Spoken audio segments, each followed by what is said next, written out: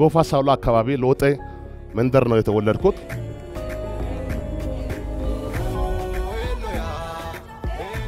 የእኛ አካባቢ አንዳንድ ጊዜ አይሮፕላን ያልፋል። ለጓደኞቼ አንድ ቀን በዚህ እሄዳለሁ እል ነበር። ሰው ስለ brand ልብስ ሲያወራ እኔ አካባቢ ልብስ ነው እኛ የምናውቀው እንጂ brand ልብስ ምን እንደሆነ አናውቅም። አሁን ግን brand ፋብሪካዎች አሉ።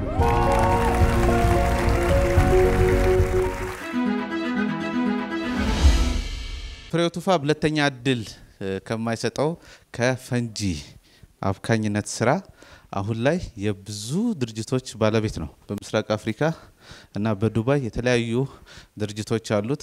ሀገር አቀፍ ባለሀብት ብቻ አይደለም፣ ዓለም አቀፍ ባለሀብት ነው። የግል ጀትም ባለቤት ነው። መንፈሳዊ ሕይወቱ በጣም ስኬታማ ነው። የሶስት ልጆች አባት ነው። ድንቅ የአንደኛ ክፍለ ዘመን ጀግና ፍሬው ቱፋ ዝግጁ ነው። እናንተ ዝግጁ ናችሁ ወይ? ከኔ ጋር በመሆን ከፍ ባለ ክብር ፍሬው ቱፋን ወደ መድረክ ጋብዙልኝ።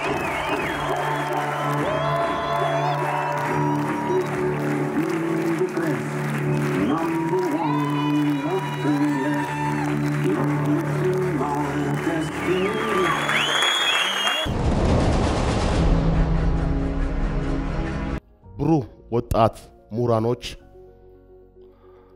እዚህ ባለ ራዕይን ለማዳመጥና ለመከተል እዚህ ካላችሁ በእርግጠኝነት ኢትዮጵያ ሀገሬ ተስፋ አላት። መጽሐፍ ቅዱስ ስናገር ራዕይ የሌለ ሕዝብ መረን ነው ይላል። መቶ 20 ሚሊዮን ሆንክ፣ መቶ 40 ሚሊዮን ሆንክ፣ መቶ 80 ሚሊዮን ሆንክ፣ ራዕይ ከሌለ መረን ነው ነው ምለው ራዕይ ሳይኖር መረን ሆኖ ከመኖር ለራዕዩ ዋጋ መክፈል ለራዕዩ መሞትም ካለበት መሞት ራሱ ክብር ነው። ልክ እንደ ደብ እዚህ ስፍራ ያለኝ ነገር ለማሳየት ወይም ያለኝ ነገር ለማስቆጠር አይደለም የመጣሁት። ወንድማችሁ ፍሬው ቱፋ እባላለሁ። የተወለድኩት ደቡብ ኢትዮጵያ ጎፋ ሳውላ አካባቢ ሎጤ መንደር ነው የተወለድኩት። እኔ የተወለድኩበት አካባቢ ትንሽ ከበድ ይላል። መብራት የሚባል ነገር የለው። በኩራዝ ነው የምንጠቀምበት። መብራት አለመኖር፣ በኩራዝ መጠቀም ዛሬ ለደረሰው የከለከለኝ ነገር የለም። አሁን ስለ መብራት ለማብራት አይደለም። አይ አንዳንድ ሰዎች ከመብራት ኃይል ነው የመጣ እያሉ ስለሆነ የተወለድክበት የኖርክበት የቆየህበት ያ አንተን ሊገድብ አይችልም። ያ ያንተን ማንነት ሊገልጽ አይችልም። ጠርምሰ መውጣት ይችላል። በሆነ ጊዜ ቤተሰብም ላይፈልግህ ይችላል። ጓደኛም ላይፈልግህ ይችላል። አይደለም ራስንም ልጠላ ትችላለህ። ከሆነ ጊዜ በኋላ በጣም ተፈልገ የማትገኝ ሰው ትሆናለህ። ትምህርት ቤት ለመሄድ በትንሹ ሁለት ሰዓት በላይ ትጓዛለህ፣ በእግር ማለት ነው። ሌሊት ተነስተ ሌሊት አስር ሰዓት ላይ ተነስተ ለከብቶች ሳር ታጭዳለህ።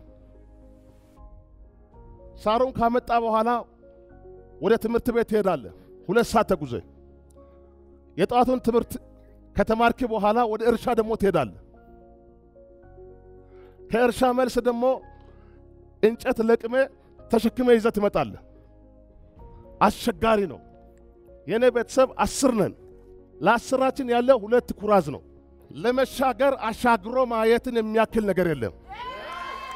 በእንደዚህ ሁኔታ ትምህርትንም የተማርኩኝ ድንገት የአንድ ቀን ፓራዳይም ሽፍት ስልጠናን አሁኑን ይመዝገቡ። ድንገት መከላከያ ሰዎችን እንደሚቀጥር ምልምልን እንደሚፈልግ ሰማሁትና እየሮጥኩኝ ሄድኩኝ። ፈጣሪ ማገዘና መከላከያ ውስጥ ገባሁት። እንግዲህ አስቡት፣ መብራት ከሌለበት አካባቢ፣ አማርኛ የሚባል ነገር የማይታወቅበት አካባቢ ወጥተህ ስትመጣ ከሌሎች ጋር ስትቀላቀል ፉገራው፣ እናንተ ጥሩ ናቸው። እናንተ ብዙ ነገር ከባድ ነበረ። ነገር ግን ለእኔ አልከበደኝም። በእኔ ምን ስላለ ራእይ አለኝ። ማንም ቢያወራ ቢጮህ ቢያለቅስ ምንም አይሰማኝም። ቢሰድብም ቢባርክም ምንም አይሰማኝም። ራእዩ ነው ማየው። መከላከያ ውስጥ ስልጠናው እንግዲህ በጣም ከባድ ነውና ለእኔ ግን ከባድ አልነበረም። ስልጠናው ቀላል ሆኖ ሳይሆን የያዝኩትን ራእዩን በደንብ አጥብቄ ስለያዝኩት የእኛ አካባቢ አንዳንድ ጊዜ ጠረፍ አካባቢም ስለነበረ አይሮፕላን ያልፋል፣ አየር ያልፋልና ለጓደኞቼ እንዲል ነበረ፣ አንድ ቀን በዚህ ሄዳለሁ ይል ነበር። የት ግን እንደሚሄድ አላውቅም። ራእይ ግን በውስጥ አለ። ራእይ ያላችሁ የተገፋችሁ፣ መንገደኛ ሆናችሁ መንገድ የጠፋባችሁ፣ ብዙ ሐዘን ውስጥ ያላችሁ ለእናንተ ተስፋ አለው። አሁን የምታልፍበት ይሄ ጎዳና ነው እንጂ የምትኖርበት ስፍራ አይደለም። ፈጣሪም ይረዳሃል። አይዞሽ አይዞ ልል ይፈልጋለሁ። እኔ መከላከያ ውስጥ ስገባ ማንም በአጠገባ አልነበረኝም። ማንም የሚረዳ ሰው የሚመክር ሰው በዚህ ውጣ በዚህ ግባ የሚል ሰው አልነበረኝም። በውስጥ ላይ ራእይ ስለነበረ ባለ ራእዮችን እያዳመጥኩ ስለነበርኩኝ የሚሉትን ሁሉ አደርግ ስለነበርኩኝ በጣም ተወዳጅ ነበርኩኝ። ስንመረቅ እኔን ወደ መሐንዲስና ፊልድ ደረሰኝ። መሐንዲስ ውስጥ ገብቼ ቀጥታ ወደ አዲስ አበባ ነው የመጣሁት። አዲስ አበባ ስመጣ እንግዲህ ያለው challenge አስቡት። ሰው ስለ brand ልብስ ሲያወራ እኔ አካባቢ ልብስ ነው እኛ የምናውቀው እንጂ brand ልብስ ምን እንደሆነ አናውቅምና አሁን ግን brand ፋብሪካዎች አሉ። ምህንድስና ውስጥ ስገባ እንደ ፈንጂ ሙያተኛ ያ field ነው እኔን የደረሰን። የሰማ ሰው አይ የድሃ ልጅ ድሮም ከስህተቱ የማይማር አልጨርስም ከስህተቱ የማይማር ፈንጂ አስወጋጅ ነው የሚል ጥቅስ ታክሲ ውስጥ ታገኙታላችሁ አይደል? ብዙ ጊዜ በራሱ ፍቃድ ነው እንደዛ ውስጥ የገባው ወይስ እነሱ ናቸው ያስገቡት? አይ ልጅ እንዲሞት ብሎ ምን አይነት ኃጢአት ነው የሰራው የሰው እያሉኝ፣ እነ ውስጥ ግን ምን አለ? የማይሞት ነገር አለ። ይሄ አባባል ዝም ብሎ አይደለም። ፈንጅ እንደ ሌላ ነገር ሚረት አያውቅም። ፈነዳ ማለት ትፈነዳለ ራስ ህይወት አስደናቂ ጉዞ ናት። ውጣ ውረዶች፣ ፋተናዎችና በድሎች የተሞላች ናት። መከላከያ ውስጥ በሰላም ጊዜ ድልድዮችን፣ ቤቶችን እንገነባለን። በጦርነት ጊዜ ደግሞ ፈንጂ እንጠምዳለን። የተጠመደ ፈንጂ ደግሞ ከፍተን የወገንን ጦር እናሳልፋለን እና በዛ ብዙ ሰው ህይወት ያልፋል። አይ አለው አውቃለሁ፣ አይቻለሁ። ሆኖም ግን ለመሞት አይደለም ምሰራው፣ እኖራለሁ፣ ነገን አያለሁ እያልኩኝ አንድ ቀን አንድ ነገር ገጠመኝ። ለሁሉም ሰው እሺ ስለሚል አንድ ባለሀብት ጋር ተዋውቁትና ወደደኝ። ከዛ የሆነ ቦታ የሆነ ቦታ ስትሄድ ታጅበኛለህ አለኝ። እሺ ያልኩትና ከእሱ ጋር አንዳንድ ቦታዎች ይሄድ ነበረና አንድ ቀን አጠገቡ ላይ ቁጭ አድርጎ ሌላ ሰው ጋር ያወራል። የሚያወራው ስለ ማዕድናት ነው። ቀስ ብዬ ሰማሁት። ማዕድናት በስንት ብር እንደም የተለያየ ማዕድናት ነገር ያወራል። ብዙ ብር ያወራል። ሰማሁትና እኔ ወዳደግኩበት ስፍራ ላይ የነበረው ያ ማዕድን እኔን ይጠብቀኛል አልኩት በውስጤ። እነሱ አወሩ። እኔ ቤት ገብቼ ማስታወሻ ደብተሬ ላይ ፈጣሪ ከፈቀደ አንድ ቀን ይሄን እኔ ሰራለሁ ብዬ ጽፌ ያስኩት። መሐንዲስና ውስጥ መከላከያ ውስጥ እንግዲህ ብዙ ውጣ ውረዶችን ካሳለፍኩ በኋላ እየኖርኩኝ እየኖርኩኝ አንድ ቀን መልካም ወሬ ሰማሁት። የተባበሩት መንግስታት ለአፍሪካ ሀገሮች አንድ እድል ሰጥቷል። ጦርነቱ ከቆመም በኋላ ጦርነቱ እንደተቀጠለ ነው። ሰዎች ይሞታል፣ ተሽከርካሪ ላይ ችግር ይደርሳል። የተጠመደው ፈንጅ የሚያጸዳ ሰው የለም። ለዛ ለአፍሪካ ሀገሮች እድል ስሰጥ ኢትዮጵያም እድሏን አገኘች። ይሄ ወረ ሰማውና እግዚአብሔርን ፈጣሪንም እያመሰገንኩኝ እየጸለይኩኝ እየጠበቅኩ ሳለ አንድ ቀን ሁላችንም ሰበሰቡን። የተባበሩት መንግስታት እንደዚህ እንደዚህ ብሎ ለእኛ ነገሩት አለቆቻችን። ሰማሁት። በቃ እኔን ይመርጣለሁ ብዬ ድሮ ክፍለ ሀገር ላይ በዚህ ሄዳለሁ ብዬ የተናገርኩት አንድ ነገር አለና ወደዛ ቀርቤ ያለው እያልኩ ተስፋ እያረኩ ያለ ሰው ሁሉ ይመረጣል ይመርጣሉ። እኔ ዝም አሉ። ተመራረጡና ጨርሱት። ከዛ አንድ ሀሳብ መጣኝ። ራስን በራስን መምረጥ እችላለሁ የሚል እጅ አወጣሁት። አስመራጩ አላይም አለኝ። አይ አሁንማ ሊረብሸው ነው አልኩት። ምንድን ነው አለኝ። እዚህ ጋር የቀረ አንድ ሰው አለ አልኩት። መቅራት የሌለበት ሰው ነው ግን አልኩት። ያዝ አልኩት። እኔ ነኝ አልኩት። አንተ ማን አለኝ።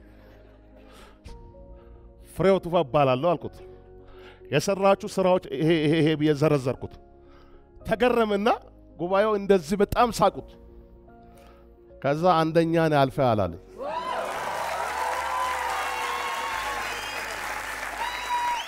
እግዚአብሔር የሰጠን እድልን ተጠቀም፣ ጊዜን ተጠቀም። በእውነት ነው የማወራው። ይኸው እንደ ቀላል ነገር እንዳትመልከቱ፣ ነገ የማይገኝ ነገር ነው። ይህን እድል ተጠቀምኩት። ከመከላከያ በክብር መከላከያ ሸኘኝ ወደ ዩኤን።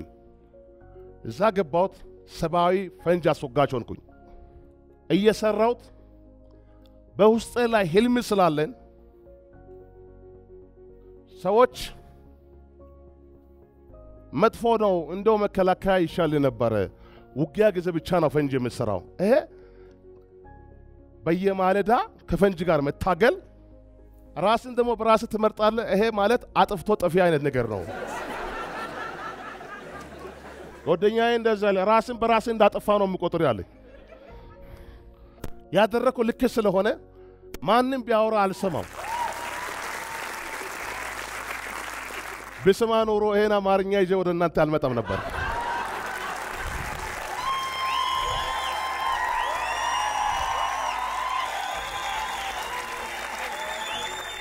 ፈንጁንም እየሰራሁት ገንዘብንም ዶላር እያገኘው ነበርኩኝ።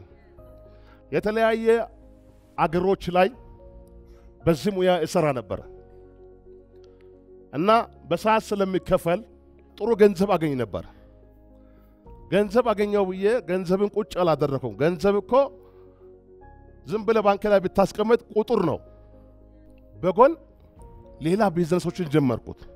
አንድ ቀን ያ ባለ ሀብት ያ ባለ ጸጋ ሰው ያ ባለ ራእይ ሰው አጅበኝ ብሎ የሆነ ቦታ ወስዶ ከሰው ጋር ሲያወራ ስለ ማዕድናት ሰምቼ ስለነበርኩኝ ደቡብ ሱዳን ገባውና ዩኤን ውስጥ እየሰራሁት እዛ አካባቢ ማዕድናት እንዳለ ሰማሁት። ይህን ስራ ጀመርኩት፣ መስራት ጀመርኩት። ዛሬ የምትሰማው እኮ ዛሬ ያቀድከው ነገር ነገ የምትሰራው ነው። ግድ የለም ነገ ትሰሪያለሽ። ገስት ማከራየት ጀመርኩት። እያሰራሁት እያሰራሁት እያሰራሁት ቢዝነስ ጥሩ ሆነ። ምስራቅ አፍሪካ ላይ ብዙ አገሮች ላይ በእንደዚህ ሁኔታ እየሰራሁት እግዚአብሔር ስለረዳ ወደ ዱባይም ወደ ሌሎችም አገር ስራውን እየሰራሁት እያለሁት እያለሁት በቃ ኑሮ የተመቻቸ መሰለኝ፣ የተሳካልኝ መሰለኝ። እንደዚሁ ዝም ብሎ የሚቀጥል መሰለኝ። ድንገት ግን ልብ የሚሰብር ነገር በህይወቴ ላይ ድንገት ግን የሚያሳዝን ነገር እንደ ሰጎን በቃ መሬት ነው እንደዚህ ያየሁት። ቀና ማለት አቅቶኝ ማለት ነው። ሁሉም ቢዝነሶች በቃ ተበላሹ። ዜሮ ገባሁት።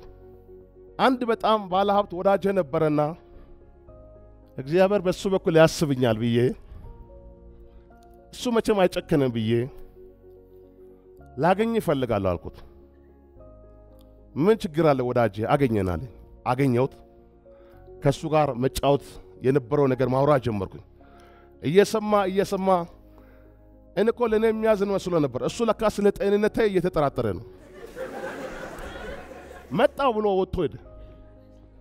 እና በቃ እግዚአብሔር አሳስቦኝ በቃ አሁን ይዞ ሊመጣ ነው ብዬ ጠፋ። ደወልኩ፣ ስልኩን አያነሳም። ደወልኩ፣ ስልኩን አያነሳም። ከዚህ ሁሉ ውጣ ውረድ በኋላ እንደገና እግዚአብሔር እድል ሰጥቶኝ እንደገና ቢዝነስን ጀምሬ አሁን ምስራቅ አፍሪካ ላይ በጣም በተሳካ ሁኔታ እየሰራው ይገኛሉ።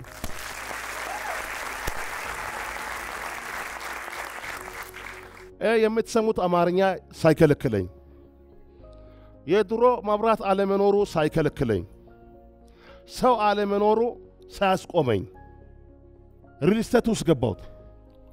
እሱም ስኬታማ በቃ ተሳካለኝ። import ና export ውስጥ ገባሁት። እሱም እግዚአብሔር ስለረዳ challenge ኦች ቢኖርም እየሰራው እገኛለሁ። ብዙ አይነት ቢዝነሶች ውስጥ መግባት ጀመርኩኝ፣ መስራት ጀመርኩኝ። እግዚአብሔርም የእጆቻችሁን ሥራ ነው ይባርካላለሁ። ተግዳሮት ሊኖር ይችላል። ይሁን እንጂ መባረክ የግድ ነው፣ ከሰራ ማለት ነው። የተመቻቸ ነገር አትጠብቁ። ብዙ ሰዎች የተመቻቸ ነገር ይፈልጋል፣ የተመቻቸ ነገር ይጠብቃል። ባለኝ ነገር ማከናወን እችላለሁ፣ ባለኝ ነገር መኖር እችላለሁ፣ ባለኝ ነገር መዝለቅ እችላለሁ፣ ባለኝ ነገር ትርፋማ መሆን እችላለሁ ብለህ ከተንቀሳቀስክ ፈጣሪም ይረዳሃል። በእውነት ዴቪን ሳየው በጣም ነው የሚገረመው። የሀገራችን የኢትዮጵያ መባረክን ተስፋ አድርጎ ዋጋ ስከፍል ሳየው እኛ ባንረዳም እሱ ግን በውስጡ ላይ ያለው ራእይ ተረድቶ ብታጨበጭቡ ደስ ይለኛል። እኔ አየር ለመግዛት እዛ ክፍለ ሀገር ላይ ራእዩ ስለነበረ ስላየሁት ማሰብ ጀመርኩኝ፣ ማሰላሰል ጀመርኩኝ።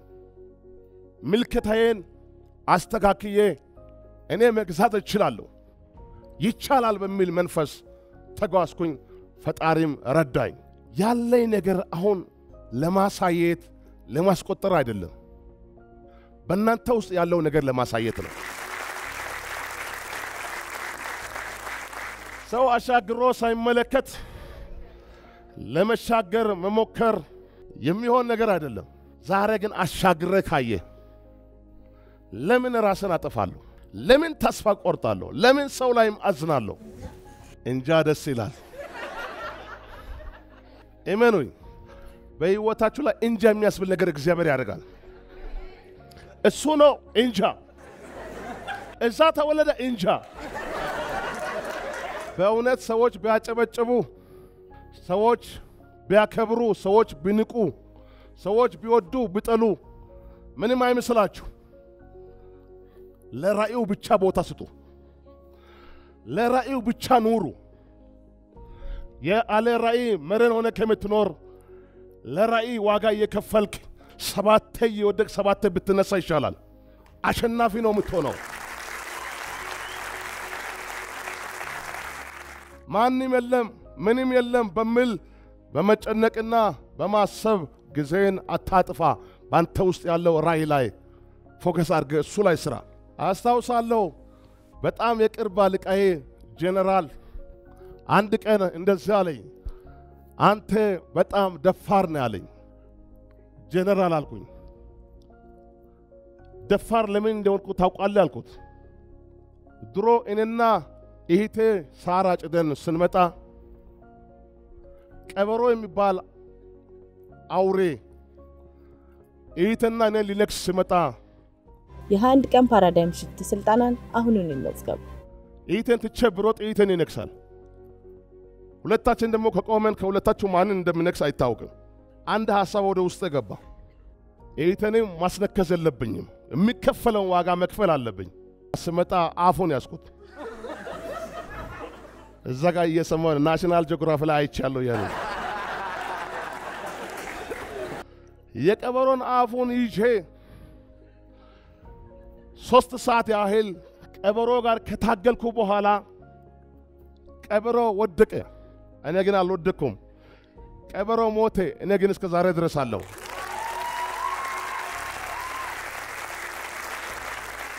አንድ ነገር ውስጥ ላይ ቀራ። ውስጥ ላይ የቀራው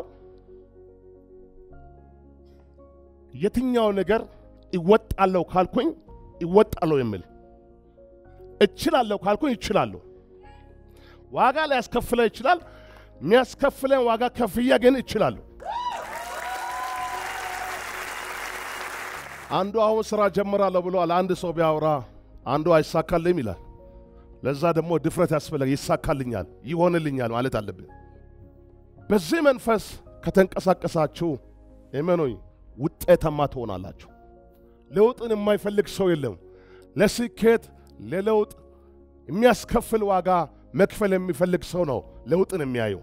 አንዴ አስታውሳለሁ፣ ብድር ከማውቃቸው ሰዎች በሙሉ ወስጄ የእነርሱን ሳልከፍል ሌላ ችግር ውስጥ ገብቼ አሁንም ሌላ ብድር ውስጥ ገባሁት። እጅና እግሬን አጣጥፌ ቁጭ ከማለት ውስጥ ያለው ራእይን ያየ እየተጽናናሁት እየሳኩኝ እየተደሰትኩኝ እየሮጥኩኝ ውስጥ ያለ ራእዩ በራሱ ያራሩጠኛልና አቅም አለ ጉልበት አለውና አንድ ቀን እግዚአብሔር በውስጥ ላይ ያለው ራእዩ ጋር ነገርን ሳገናኝ እነኝን ሁሉ ዕዳዎችን በቀላሉ ነው የከፈልኩት። ዛሬ ዕዳ ውስጥ ያላችሁ፣ ዛሬ ችግር ውስጥ ያላችሁ፣ ዛሬ ውስጥን የምታውቀው አንተና እግዚአብሔር ብቻ ነው። በተለያየ ውጣ ውረድ ውስጥ እያለፋችሁ ያላችሁ እባካችሁ ተስፋ አትቁረጡ። ነገ ሌላ ቀን ነው። አሁን ገንዘብ ላይኖርሽ ይችላል። አሁን አይዞ የሚል ሰው ላይኖር ይችላል። ይሄ የማይረባ ይሄ እች የማትረባ የሚል ሰው ሊበዛ ይችላል። ነገርን የሚገሉ ሰዎችን አትስማ። ነገርን ካንተ ጋር ይዞ የሚሮጡ ሰዎች ወይም ነገርን የሚደግፉ ሰዎች፣ ራእይን የሚደግፉ ሰዎችን ይዜ ወደፊት ገስግስ። ስኬት ሩቅ ትመስላለች። ለዚህ ነው ያኮረብከው። ስኬት ግን በአፍንጫ ስር ነች። በውስጥ ላይ ያለው ነገር ማውጣት በድፍረት ስትጀመር ስኬት ውስጥ ትገባለህ። ከስኬት ማንም ሊከለክል ከቶ ማንም አይችልም። መማር ከፈለክ ትማራለህ። መስራት ከፈለክ ትሰራለህ። ምንም ነገር ማድረግ ከፈለክ ታደርጋለህ። ዮሴፍ አባቱ እንደሚጠላ እያወቀ ወንድሞቹ እንደሚጠላ እያወቀ ባለራእዩ መጣ ብሎ ሲያፈዙ ሲያሾፉ እየሰማ ለእነርሱ እጅ አልሰጠም። ይህ ባለራእይ ጉድጓድ ውስጥ ሲከቱ ወንድሞቹ እያየ አይ ብሎ ለእነሱ እጅ አልሰጠም። አዎ አሁንም ባለራእይ ነኝ። አስራ አንዱ ነዶ ለአንዱ ነዶ ሲሰግድ አይቻለሁ። ባለራእይ እንደዚህ ነው። ለራእዩ ዋጋ መክፈል ያለበትን በሙሉ መክፈል አለበት። ለስኬት ዋጋ እንደከፈልኩም ዛሬም ዋጋ ከፍዬ ነው የመጣሁት። ነገ ሚዲያ ላይ ብዙ ነገር ሊባል ይችላል፣ ብዙ ነገር ሊወራ ይችላል። ያ ሁሉ ነገር እኮ ጠብቶብኝ አይደለም። የሚያወራ እያወራ የሚሰራ እየሰራ ይቀጥላል።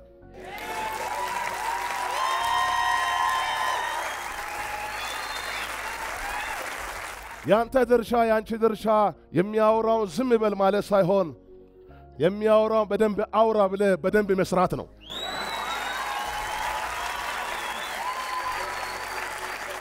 ዋናው ሐሳብ ግን እጅ አትስጡ፣ እጅ አትስጡ። ባለ ራእይ እጅ አይሰጥም። ምናልባት ብዙ ሰዎች ብዙ ነገር አቅዶ ያቀደው ነገር ልክ ሆኖ ሳለ መንገድ ላይ challenge ኦች ሲገጥም እየሰራ ያለው ነገር ልክ አይደለም ብሎ አንዳንድ ሰዎች ያቆማሉ። ይሄ ነው እጅ መስጠት ማለት። አንተ የምትወላወል ከሆንክ አንዴ ወደፊት አንዴ ወደ ኋላ ከሆነ ሰውም አይረዳም፣ ፈጣሪም አይረዳም። ስለዚህ እዚህ ብዙ ባለ ራእዮች ራእያችሁን ይዛችሁ ጸንታችሁ የምትቆሙ ከሆነ ፈጣሪም ይረዳል፣ ባለ ራእዮችም ያግዛችኋል።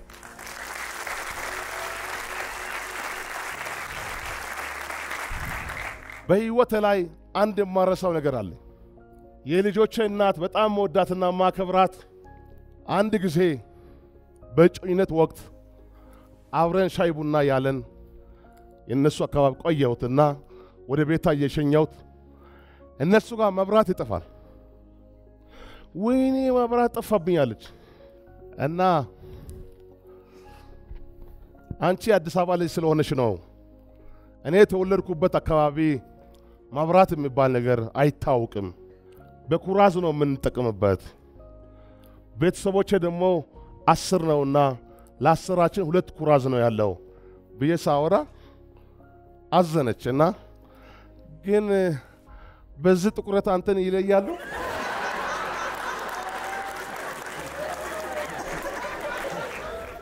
አሁን ነው አንዳንድ ሰዎች በደንብ እያዩ ያለው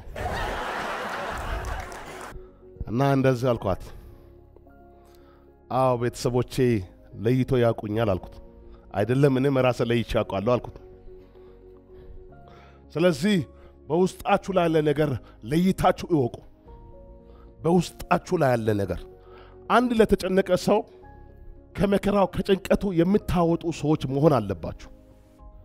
እኔ እርዳታ ድርጅት አለኝና ድርጅቱ ያንን ግለሰብ ስረዳ ለድርጅቱ ቀላል ነው። ያ ሰውዬ ግን ያንን መከራ ሲያወራ ሲያሳይ እኔም አልፌ ስለመጣሁት ቀላል አይደለም ለሱ። ስለዚህ ስትኖሩ ለሌሎች መኖር መቻል አለባችሁ። ባለጸጋን የሚጋበስ በጣም ቁጥር ስፍር የለው። አንድ ሆቴል ብትገባ ማን እንደከፈለ አታውቅም፣ ተከፍሏል ነው የሚባለው። የተቸገሩትን መርዳት መቻል አለብን ሁላችንም።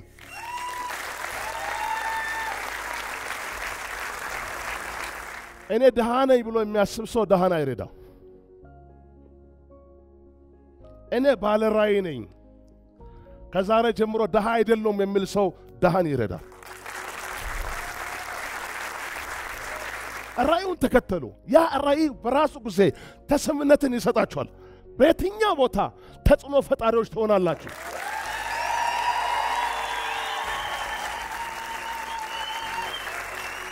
አንድ ጥያቄ እድል መስጠት እንችላለን ለአንድ ሰው የሚደግፍህ ወይም ደግሞ already እዛ ላይ እንደምትደርስ የሚያምንልህ ሰው ነበረ?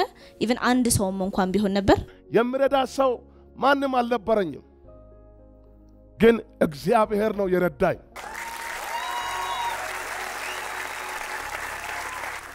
ሰዎች የናቁ ሰዎች ጋር ሰዎች የማያዩ ሰዎች ጋር እግዚአብሔር እንደሚቆም አባቴ ሁል ጊዜ ይነግር ስለነበረ እንግዲህ እግዚአብሔር ከኔ ጋር ከቆመ የትም ቦታ ቢሄድ ውጤታማ ሆናለሁ በሚል ነው።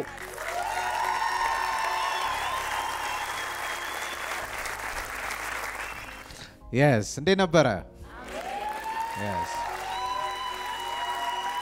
ከልብ አድርገን እናመሰግናለን። አሁን ደግሞ እባካችሁ ከፍ ባለ ክብር ደግሞ ዳዊት ድሪምስን ወደ መድረክ ጋብዙልኝ።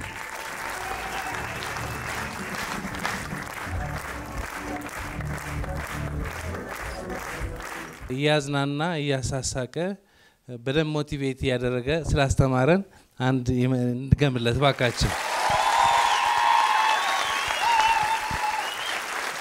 ከእሱ ጋር የመጣችው ባካችን ወደ መድረክ መጀ- ስለ ፍሬው ልትነግሩ ነው የምትፈልጉ ነገር ካለ በፈቃደኝነት፣ ካልሆነ በግዴታ ይሆናል። አለ ዋናው አለ እዛ ጋር የስ አምባሳደር አሸናፊ ይባላለሁ። ፍሬውን ከሰባት ከስምንት ዓመት በፊት ነው የማውቀው። አሁን የሆነው ነገር ሁሉ ከመሆኑ በፊት ማለት ነው፣ ወይ ደግሞ እዛ ሂደት ላይ ባለበት ሰዓት ነው እና እኔ ጉልዶዘር ነው የምለው ነው እና ምንም ነገር ከመጣ በቃ ገንጥሎ የሚሄድ አቅም አለው። ደፋር ነው። ከሰዎች ዘንድ ያለው ተግባቦት በጣም ደስ ይለኛል። ማንኛውም ሰው ድሃ ነው፣ ሀብታም ነው፣ ዘር፣ ቀለም፣ ብሔር ሳይለይ ከሁሉም ጋር እኩል በነጻነት የሚያወራ በነጻነት የሚኖር ምርጥ ሰው ነው። በጣም extremely humble ነው። አብርሃም የመባረኩ ሚስጥር humble ነቱ ነው። ምንም ዲግሪ ማስትሬት ስለነበረው አይደለም። እና የእሱ በጣም በቅርብ ጊዜ ያው ያወቅኩት፣ ምናልባት አመት እንደዚህ ግን በጣም የሚያስደንቀኝ ነገር ሁሉንም ዝቅ ብሎ ጎንበስ ብሎ ቁጭ ብሎ የምንነግረው ነገር ካለ ለማዳመጥ ይተጋል፣ የምንመክረው ነገር ካለ ለማዳመጥ ይተጋል እና ድህነትና ሀብት ያለው በባህሪያችን ውስጥ ነው።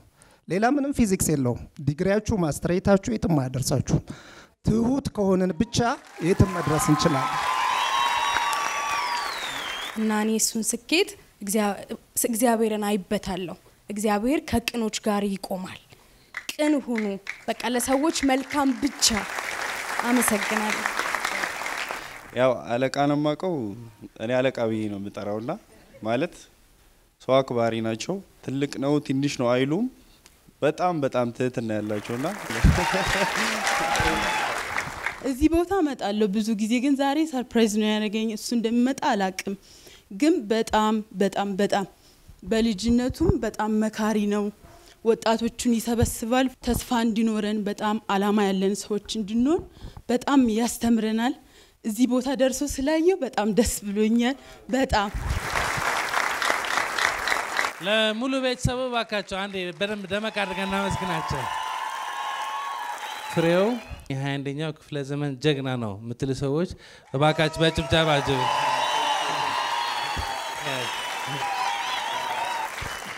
ፍሬው ዩቲዩባችን በደንብ ትከታተለዋለህ እና እኔ ድንቅ ነኝ ሲባል ሰምተሃል።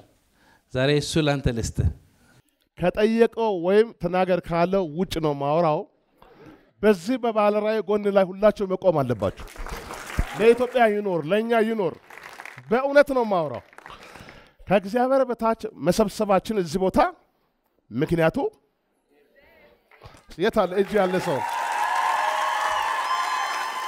እኔ የሚመኘው ትልቅ አዳራሽ ገንብቶ ለትውልድ የሚተላለፍ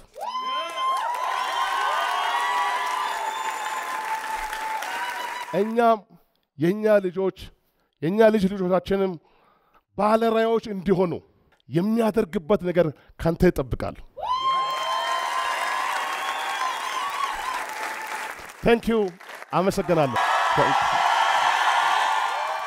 ራሳችንና ቤተሰባችን ብቻ ሳይሆን ኢትዮጵያና አፍሪካን ቀይር። አንድ ብርም ከአንድ ዶላር እኩል እናድርግ። የ21 ቀን paradigm shift ስልጠናን አሁኑን ይመዝገቡ።